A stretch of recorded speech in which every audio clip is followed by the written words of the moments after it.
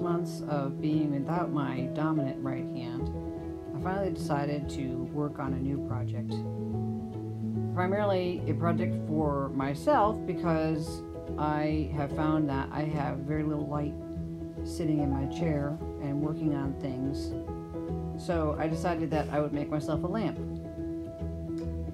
In the search for a lamp that was already existing, um, we were finding that we weren't seeing anything that we liked.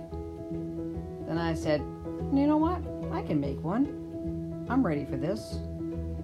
So I decided that I was going to make a full up 3D version of a drawing that I had done about six months ago.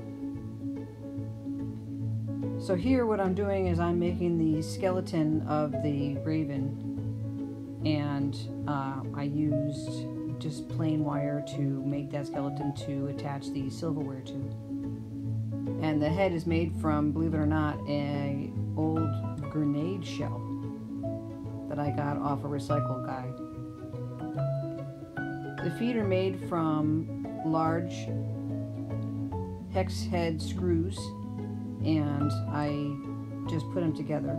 And then here I'm actually bending the screws to mimic the claws going around the branch when I finally perch the raven in its place.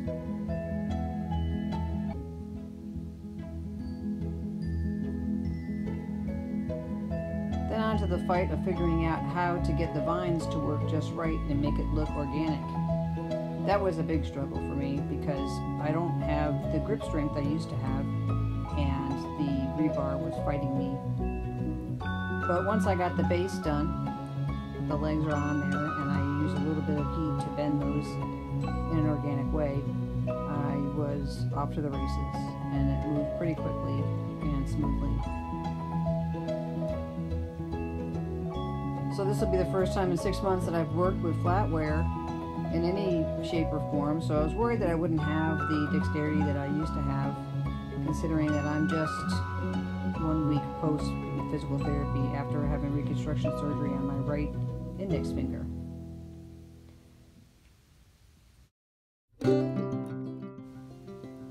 So this is where I had a stopping point on the first day, but it gives you an idea of where I left off and a good view of my messy shop.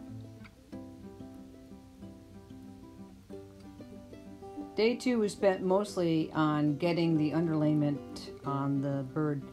So when you are laying the flatware on, you have to layer it in a way that, number one, you can't see the welt, and number two, you work from the inside out so that the in the in the long run the wings will be last. So I have to do the belly and the back, and um, I actually do the face, but I didn't record that. I don't know why, but You'll get to see it in a few seconds.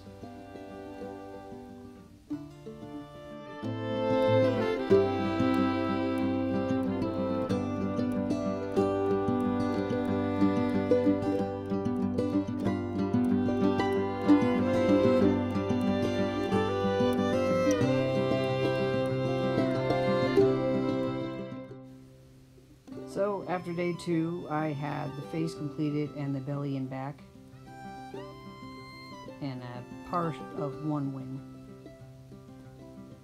So as we move on to day three, I am working on the legs, getting them finalized because it's on the underside and we want to be able to hide all of that in a natural way.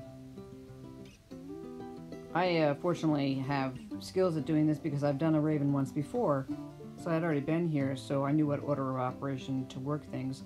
I had already made all my mistakes.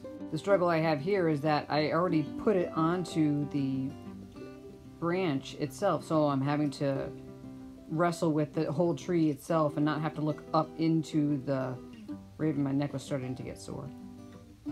So I had to work with what I had. So I'm finishing off that final wing.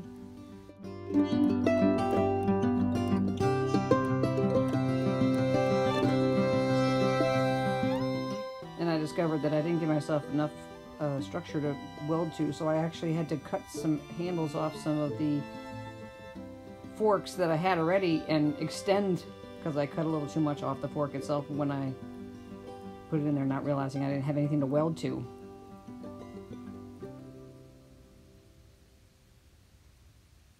And then moving on to the more difficult portion for me is the fine detail of sewing the lampshade, which was a little bit trickier than I thought it was going to be, but it worked out in the end.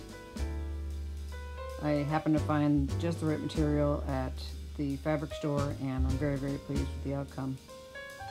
The only downfall was is that a good portion of this is all hand sewn, and I had to use my struggling hand for a good portion of it. But in the end, I was very pleased with the outcome. This is the final product, actually sands the tassel.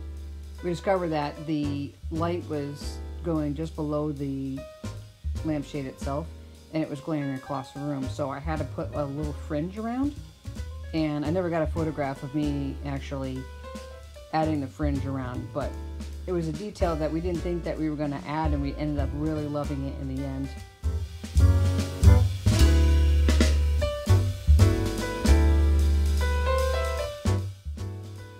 Here at the end, I put a lot of photographs in, but I had a really hard time getting the whole thing in in one photograph. So I tried to provide everybody with some detailed pictures of what it looked like when the light was on and what the light was off. And here it is, the final product with the tassel.